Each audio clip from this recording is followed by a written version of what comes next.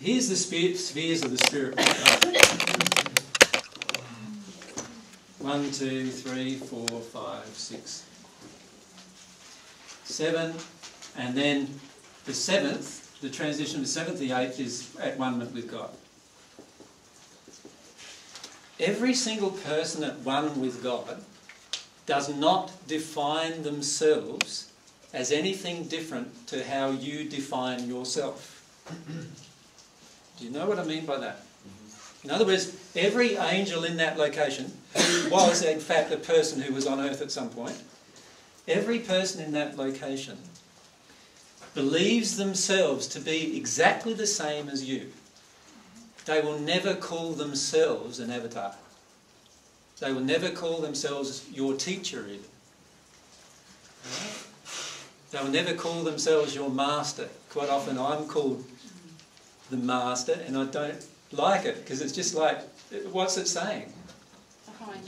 It's, it's holding me up above and it's not true. I'm not above anyone. You follow me? So every single person there will never feel themselves to be greater than you are. Now, in the sixth sphere, there are many spirits in the sixth sphere who believe themselves to be God. right? The majority of them, in fact, feel that they are God. They feel at that point what a one with God means is that because we're all at one with God, is what they tell themselves, they all become God. So they're all just pieces of God.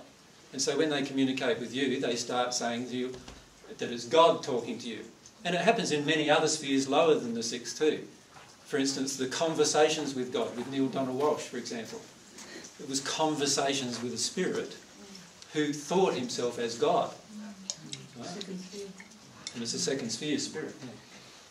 Anyway, the avatars, what happens is many spirits in this condition here look at the earth and they're very, very interested in helping the earth. Very interested in helping people on earth be in a higher state of love.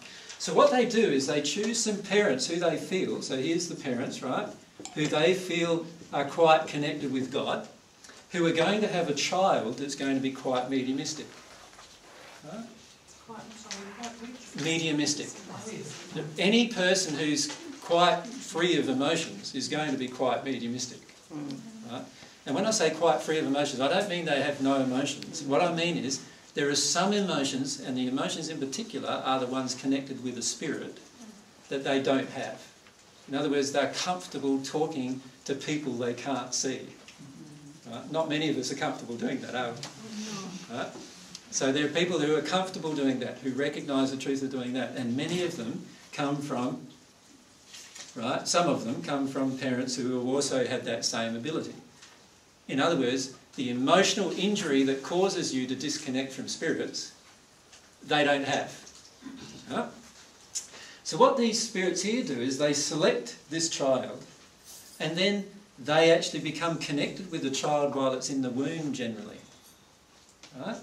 And then they heavily influence that child with their own teachings and beliefs and systems. Now, every Dalai Lama has had this happen to them, mm. right, in subsequent generations. Mm. Right? And every Dalai Lama, generally, if you hear them speak, you'll find that they'll get to a point where they felt the disconnection from that spirit. Because that's usually what happens, is they get to a stage in their own development where they no longer need that assistance and the spirits disconnect. So what happens is that this spirit here then guides this person as they're growing. And this person then is often called an avatar, right? A person who already knows the truth even from the moment they were born. In reality, the spirit is the one who knows the truth, and they are just heavily influenced by that spirit. And the spirits, the spirit in the sixth sphere who does it, no spirit in the seventh sphere or above would do it, but the spirit in the sixth sphere who chooses to do it, decides to do it because he feels that it's the most loving thing he can do to help people on the earth. Mm-hmm. Yeah. And that's why they're focused in that manner. Is that like the best they can do for us? That's the best a person in the sixth sphere can actually do for somebody on the earth, yes. So from their own perspective, they are feeling like this is the best thing I can do to demonstrate my love for people on earth who I really want to be in a state of love. So it's still got to be a higher truth on earth though, doesn't it? It's still got to be helpful. or is it unhelpful? Well, it, it certainly is helpful. If this Spirit's love is reflecting through this person, then obviously every person around that person is going to feel a higher degree of love at different times. The problem becomes is what's happening to the person. The person themselves often passes without clearing any of their negative emotional baggage, which means that they often pass into the first sphere of the spirit world with lots of emotional baggage, particularly in the, in the Eastern philosophies with usually a lot of sexual baggage, because oftentimes they feel that they have sexual relationships because of this love coming from them. They're attracting lots of women in particular, or that, that they have sexual relationships with, and they, they cause a lot of self-damage in that mm-hmm. process. And then by the time they pass, they're actually passing into the first sphere. So the person themselves is in a first sphere condition when they pass, and then needs a lot of help to get. So the spirit's taking them over in a good way, Yep, what they think's a good way, yep, but because they're taken over, they don't deal with their own shit. yep. And also, when you think about it, no spirit above there will do that. And the reason why is because the free will of that soul is paramount to a person that's at one with God.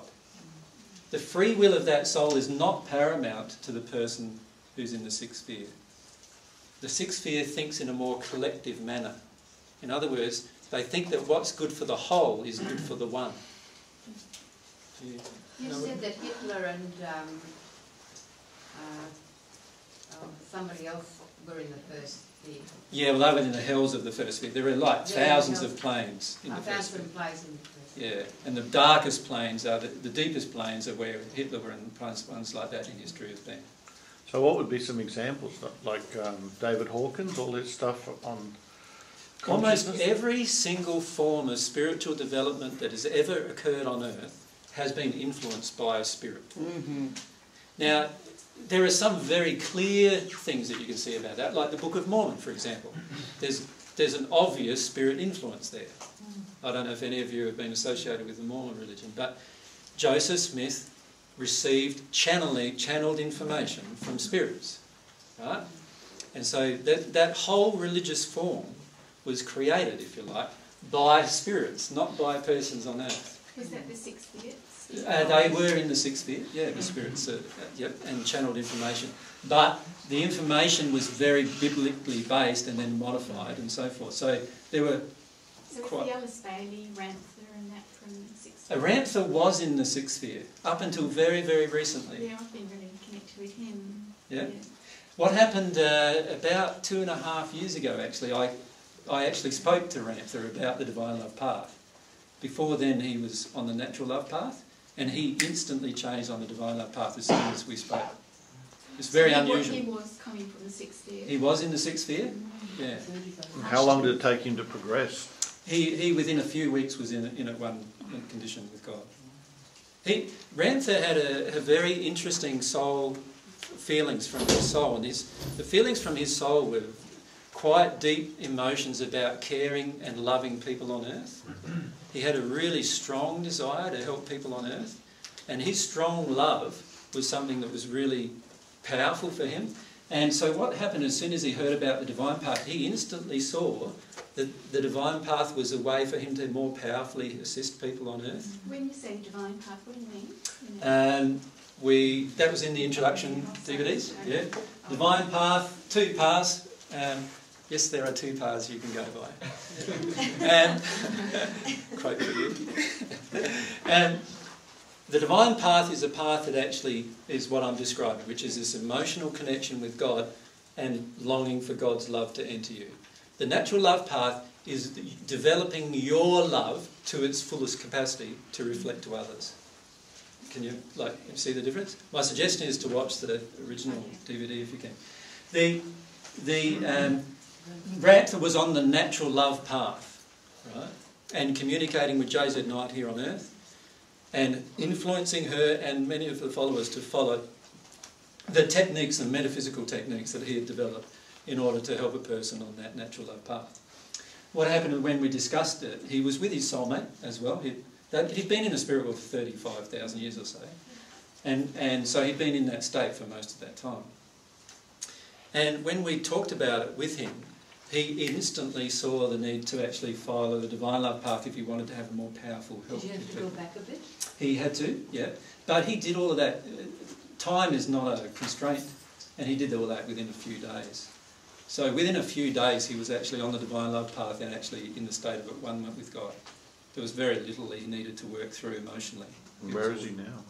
He, he's, I think he's in the ninth sphere actually now, but he's growing very rapidly. Does that mean some of his techniques that he's still teaching is, you know, was a bit limited?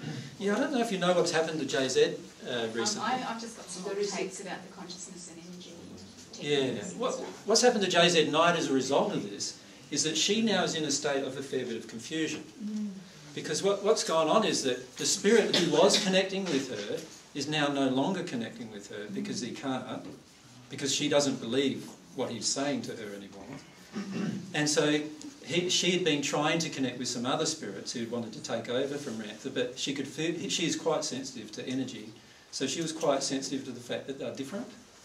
And so now she's in a bit of a state of confusion, and this is why recently in her world tours she's having, she doesn't understand why, but she's having quite a bit of confusion as so a she's result. not channeling him anymore. No, but she could. Yeah. She could. As soon as she got onto the divine love path, she would be able to channel him again.